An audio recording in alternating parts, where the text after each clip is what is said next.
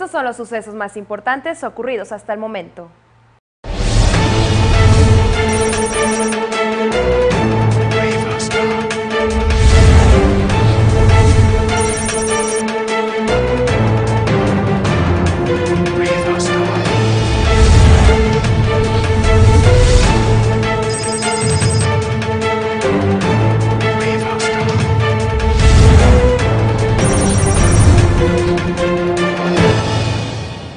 Bienvenidos a Noticias Siglo TV, comenzando con la información. Ante retraso de obras y proyectos de impuestos sobre nómina en Torreón, conformarán comité de licitaciones.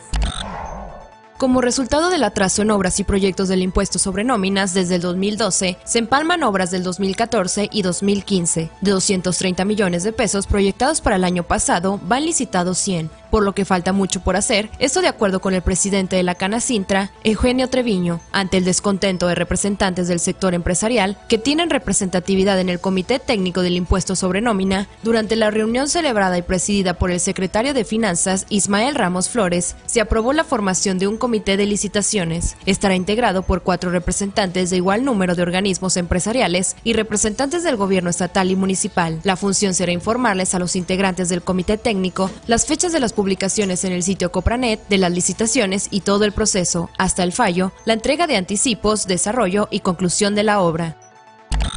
En Torreón no hay rastro del pago a constructores por parte del gobierno de Coahuila. Pese a que la Secretaría de Finanzas ya cuenta con el crédito de 2.500 millones de pesos, con el que supuestamente se cubriría el adeudo por alrededor de 3.500 millones de pesos que tiene con proveedores de obras, en esta ciudad no han sido convocados, mientras que el secretario de Finanzas, Ismael Ramos Flores, aseguró que los recursos ya están en las arcas del gobierno del Estado y que se realizó el censo para verificar la presencia de las obras públicas de las que reclaman el pago los constructores. Dijo desconocer a cuánto se les ha pagado. En tanto, el presidente de la Cámara Mexicana de la Industria de la Construcción, Hugo Pérez, dijo saber solo de un caso de pago, pero desconoce quién es y cuál es el monto. Expresó que ignora además por qué les están pagando solo un 80% del adeudo. Respalda Cliva Cimas en temas de tratadora. El Consejo Lagunero de la Iniciativa Privada manifestó su respaldo a la determinación del Consejo General del CIMAS de finiquitar el contrato con la empresa Ecoagua. Sin embargo, recomendará que se busque otra compañía que brinde el servicio para obtener un agua de calidad que se pueda vender y reutilizar. Agustín Arellano Saucedo, presidente del CLIP, dijo que más vale tarde que nunca en la revocación del contrato de la planta tratadora de aguas residuales en Torreón, pues la situación permaneció durante varias administraciones. Además, el Consejo denunció zanjas abiertas y trabajos inconclusos en términos de la instalación del alumbrado público tipo LED, por lo que pide se realicen entregas por áreas. Secretaría de Salud en Coahuila pretende evitar rechazos de pacientes en hospitales.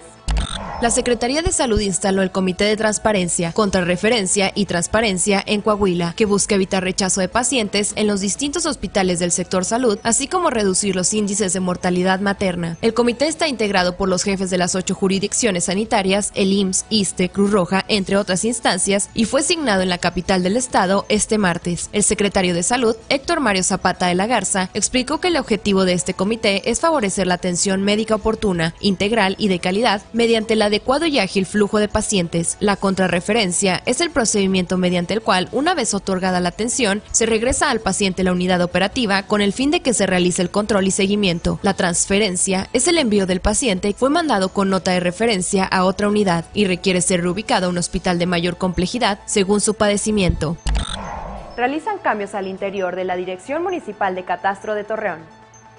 En la Dirección Municipal de Catastro iniciaron los primeros cambios de funcionarios municipales de Torreón. Sale Miguel Ángel Castañeda Espino y es relevado por Laura Reyes Retana. El cambio se dio ante representantes de la Contraloría Municipal, quienes de inmediato iniciaron el proceso de entrega-recepción. Castañeda Espino se desempeñaba en Catastro desde el inicio de la actual administración. En tanto, Reyes Retana fue candidata a la presidencia municipal y diputada federal. Viendo la información en qué parte va, este, hasta dónde van a llegar y bueno, estaremos muy pendientes de de esa situación. El alcalde está muy interesado en eso. ¿Tienes este, cuántos años alejada de la administración pública? ¿Cuál fue tu último cargo, Laura? Mi último cargo fue diputada federal. Desde la semana pasada, el alcalde Miguel Ángel Riquelme anunció que haría diversos cambios de funcionarios municipales. Esto ocurrió luego de la salida del titular del rastro municipal, Iván Vladimiro Fuentes. Dijo que unos serían antes de las vacaciones de Semana Santa y otros posteriormente. Ahora vamos a lo más relevante de los deportes, en donde Messi no está lastimado, así lo asegura el albiceleste.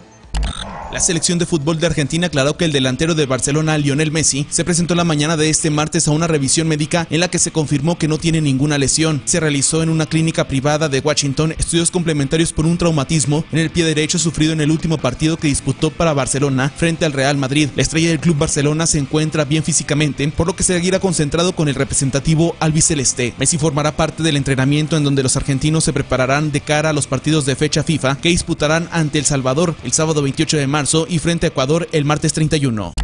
Estas fueron noticias presentadas a través de Siglo TV. Más información el día de mañana en la edición impresa del Siglo de Torreón. Hasta pronto.